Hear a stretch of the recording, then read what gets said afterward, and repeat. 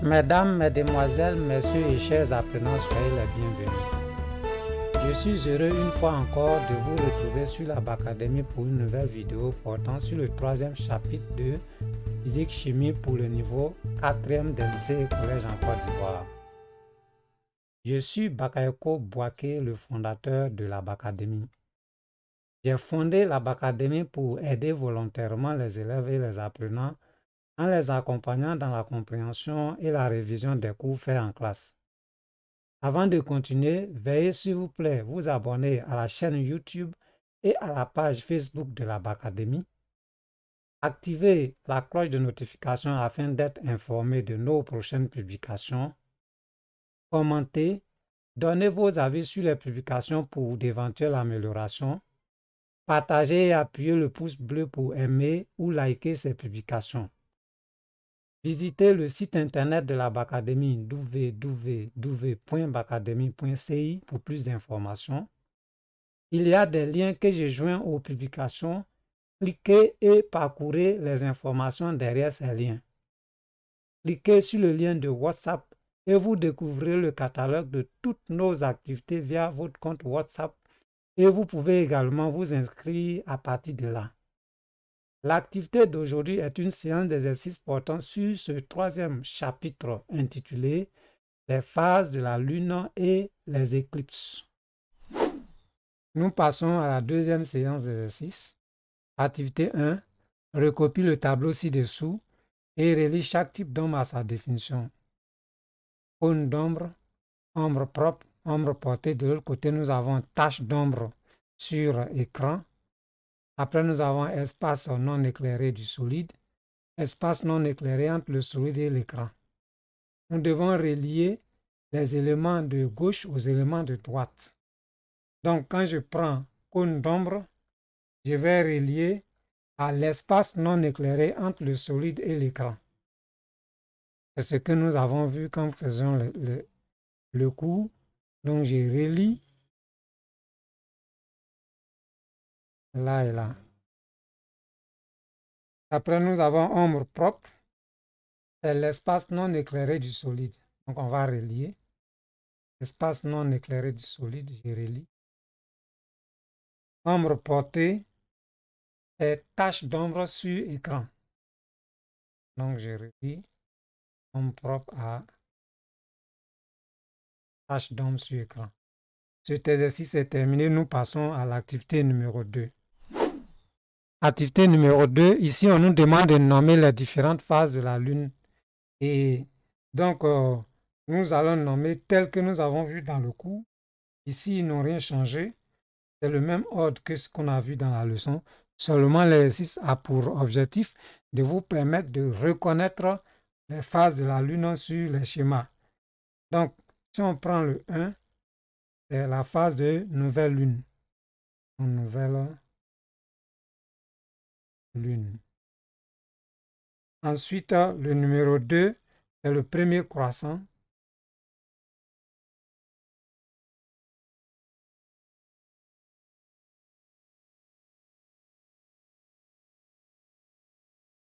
Le numéro 3, c'est le premier quartier.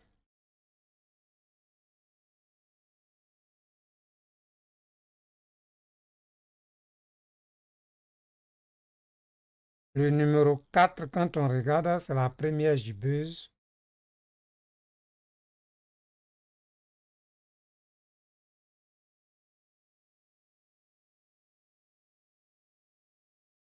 Le numéro 5, c'est la phase de pleine lune. Là, on voit toute la lune. Le numéro 6, maintenant la lune se recache. Nous avons la deuxième gibbeuse.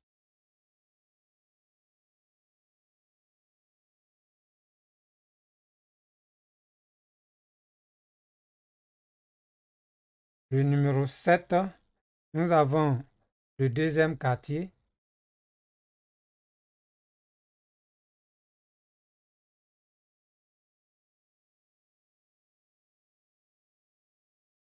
Et le numéro 8, nous avons le dernier croissant.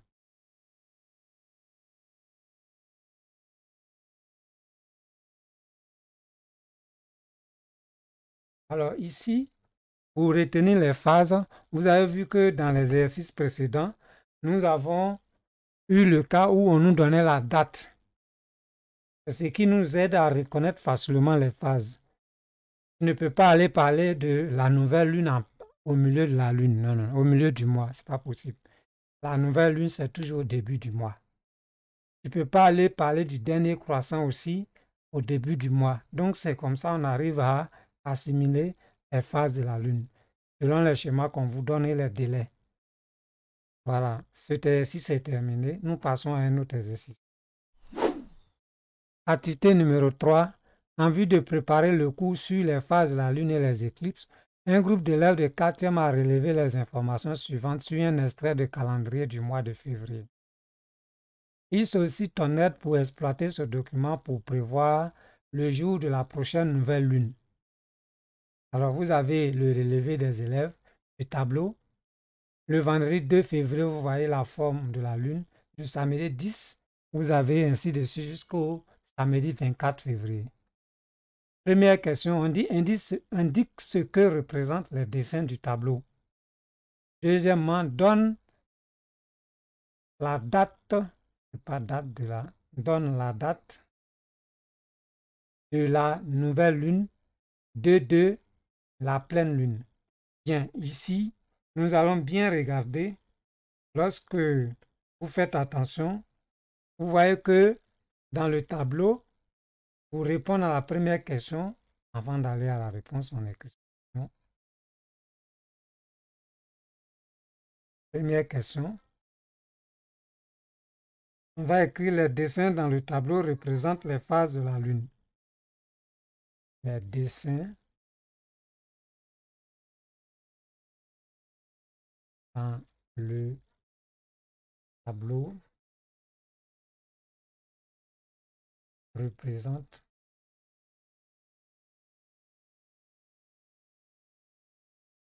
les phases de la Lune.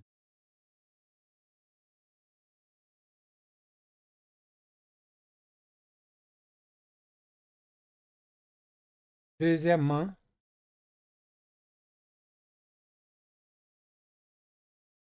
2.1, on dit de donner la date de la nouvelle lune et la date de la pleine lune. On regarde dans le tableau.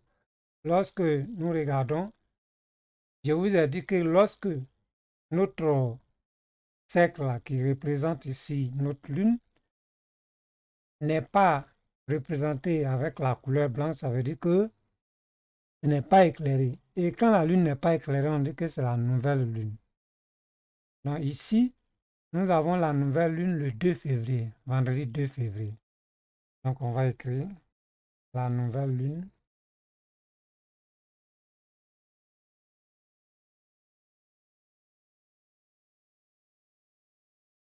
correspond au vendredi 2 février.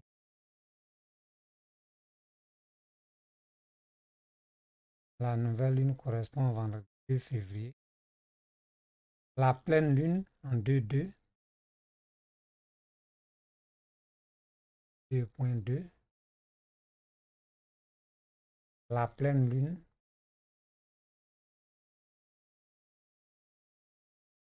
correspond au 2.2 la pleine lune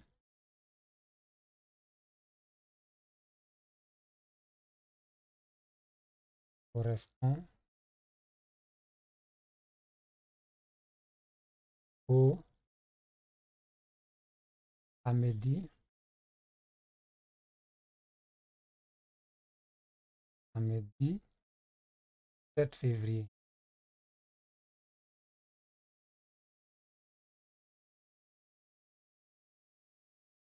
Et donc, nous avons fini avec euh, cet exercice. Bien, nous passons à l'exercice suivant, qui est une situation d'évaluation. Place les mots correspondant aux définitions proposées. Identifie le mot caché et donne sa définition. Alors, on dit petit 1, on donne la définition ici. On dit c'est une ombre partielle. Une ombre partielle, je crois qu'on peut dire pénombre. Pénombre.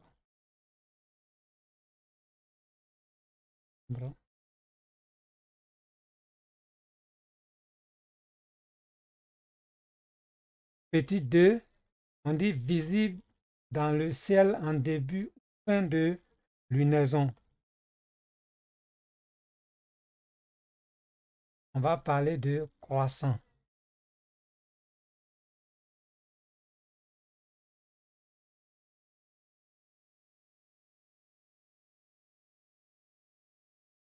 Petit 3, on va aller regarder la définition.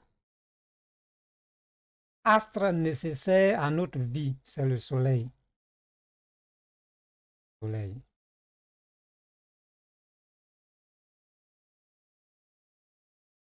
Petit 4. Partie d'une ville ou partie de la lune, le quartier. Quartier.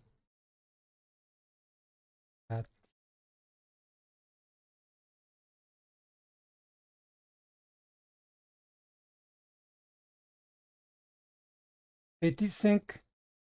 Différents aspects de la Lune au cours d'une lunaison. Ce sont les phases. Phases.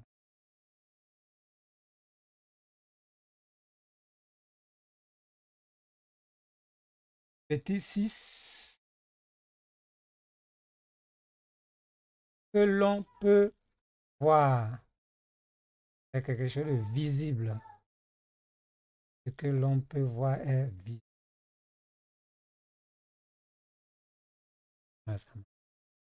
Petit 7. Trajectoire que décrit un as autour d'un autre. Ellipse. Ellipse.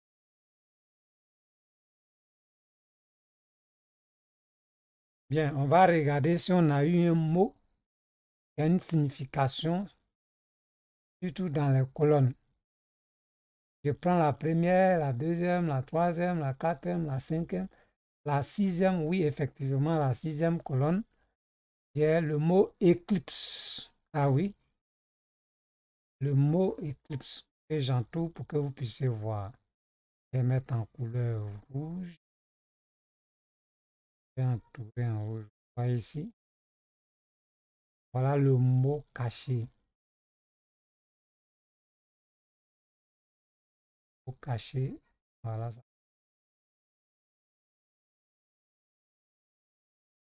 C'est le mot éclipse. Alors, on nous dit, on va écrire en bas que le mot caché est éclipse. Le mot caché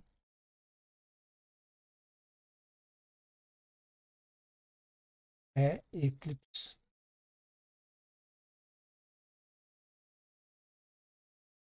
Alors, une éclipse, ou on dit qu'il y a une éclipse lorsque la Terre, le Soleil et la Lune sont alignés. On dit qu'il y a a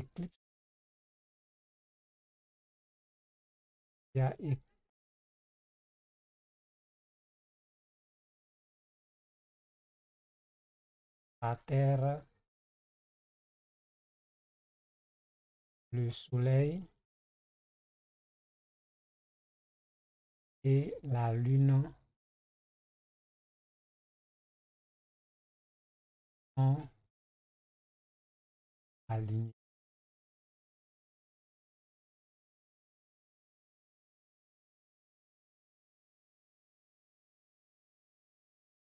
Voilà. Alors, on a vu que lors d'une éclipse, ces trois astres-là sont alignés. Le Soleil, la Terre et la Lune s'alignent. Bien, cette vidéo est terminée. Je vous remercie de l'avoir regardée. Abonnez-vous à la chaîne YouTube et à la page Facebook de la Bacadémie.